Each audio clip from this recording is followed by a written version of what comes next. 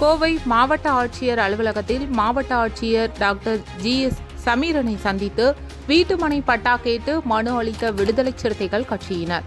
விடுதலை சிறுத்தைகள் கட்சிகளின் தொண்டாமுத்தூர் தொகுதி செயலாளர் முகமது அலி தலைமையில் நேற்று கோவை மாவட்ட ஆட்சியரிடம் கோரிக்கை மனு வழங்கப்பட்டது.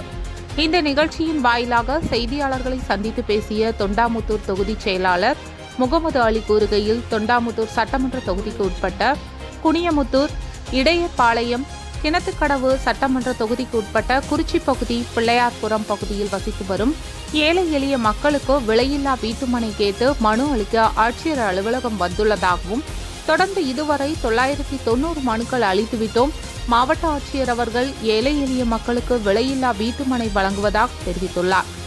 நடைபெற்று வருகின்ற சமூக நீதி ஆட்சியின் முதல்வர் ஸ்டாலின் ஆட்சியில் கொடுக்கப்பட்ட இந்த மனுக்கள் மீது பரிசீலனை செய்து வருவதாக தகவல்கள் வருகின்றது. அதற்கு நன்றிகளை தெரிவித்துக் கொள்வதாக தெரிவித்தார்.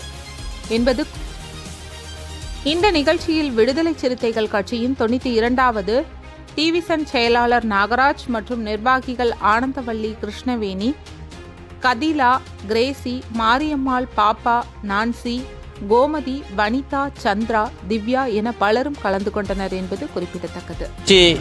குறிச்சி பகுதி பிள்ளையார்புரம். சுற்றி வாழுகின்ற வீடு இல்லாமல் தவித்து கொண்டிருக்கும் ஏழை எளிய மக்களுக்கு விலையில்லா வீட்டுமனை கேட்டு மாவட்ட ஆட்சியாளர் அவர்களை சந்தித்து மனு கொடுக்க வந்துள்ளோம்.